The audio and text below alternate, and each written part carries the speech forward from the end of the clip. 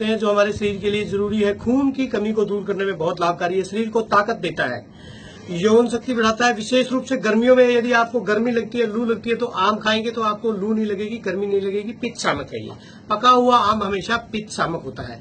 और यदि आप कच्चे आम को खाएँगे तो ये विटामिन सी का बहुत रिच सोर्स है। कच्चे कच्चे आम का पन्ना बना के खाएँगे लू लगने पे तो लू लगने हुए व्यक्ति को बहुत लाभ मिलता है। दूसरा डाइजेस्टिव सिस्टम के लिए बहुत कारगर है। आपके इसके इतने इस प्रकार के इंजाइम सिक्रीशन में मदद करता है, जिससे आपका डाइजेस्टिव सिस्टम ठीक रहता है पाचक अग्नि को प्रतीत करता है।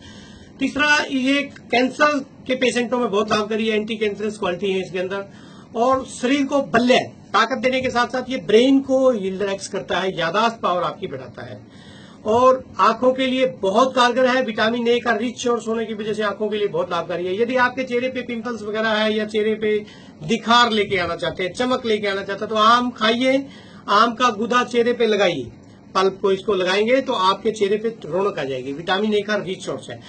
लेकिन हम क्या करते हैं, आम तो बहुत लोग खाते हैं। आम के खाने के बाद हम इसके अंदर से जो गुठली निकलती है, इसको हम उठाकर बाहर फेंक देते हैं। मेरी सभी से प्रार्थना है कि ये जो गुठली है, इसके अंदर से ऐसा ऐसा ये गुठली की गिरी निकलेगी।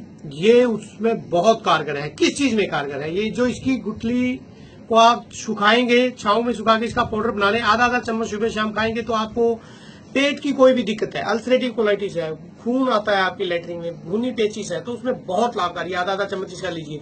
आपको पायरिया है, दांतों से सड़न रहती है, दांतों की आपको कोई भी प्रॉब्लम है, इसकी गुठली का पाउडर आप आधा आधा चम्मच खाइए और साथ में मालिश कीजिए मसूड़ों पे तो पायरिया की समस्या को ठीक कर देगा। बालों की आपको समस्या है, बाल आपके जल्दी सफ़ेद हो गए या जमने लगे तो इसके पाउडर को खाने के साथ साथ आप इसके पाउडर गुठली के पाउडर का तेल बना लीजिए। जैसे 250 ग्राम इसका चूर्ण लेके उसमें एक लीटर तेल, तिल के तेल में पकाइए, उस तेल को लगाइए तो बाल काले हो जाएँगे। कैल्शियम की कमी को ठीक करता है। पेट की कोई भी प्रॉब्लम है, खासकर जो गर्भवती महिलाएँ हैं, यदि वो आम की गुठली का सेवन करेंगी तो उनको कैल्शियम की कमी नहीं होगी और उनका बच्चा हेल्दी पैदा होगा। तो उसके साथ साथ ये इसकी गुठली पिंपल्स पे लगाने के लिए, इसकी गुठली का पाउडर पेस्ट किया, आप पिंपल्स पे लगा सकते हैं। बहुत कारगर है आम की गुठली। तो मेरी प्रार्थना है कि आम के आम गुठलियों के दाम आम को खाइए, गुठलियाँ मत फेंकिए। गुठलियाँ उससे भी ज़्यादा कारगर है।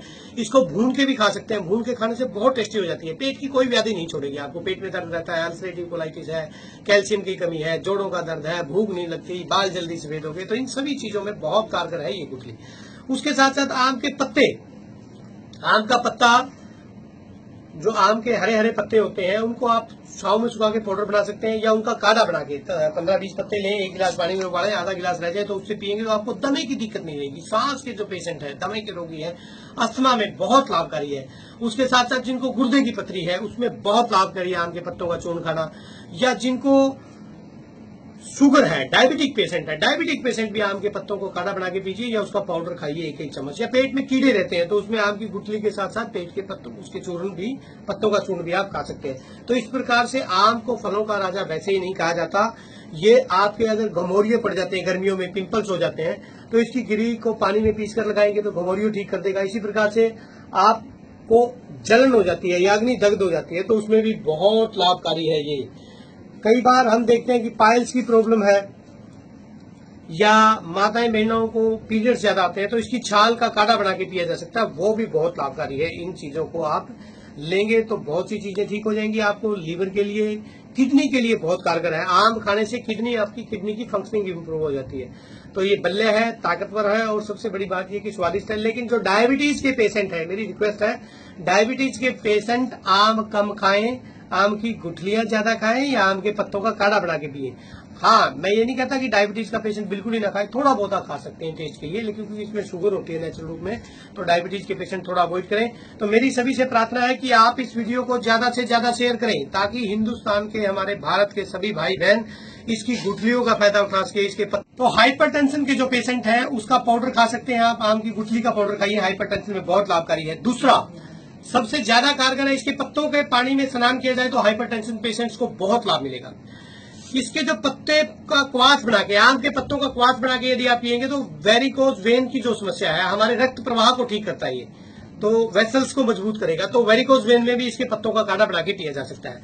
और गुड कोलेस्ट्रॉल बढ़ाता है, ये बैड कोलेस्ट्रॉल को कम करते हैं, इसकी गुठली इसकी गुठली का पाउडर आप खाएँगे तो कोलेस्ट्रॉल को कम करेगा। मोटापे को कम करने में बहुत कारगर है आम की गुठली का पाउडर जो मोटापा घटाना चाहते हैं, पेट को ठीक करना चाहते हैं वो इसकी गुठली का पाउडर बना के ज़रूर खाएँ।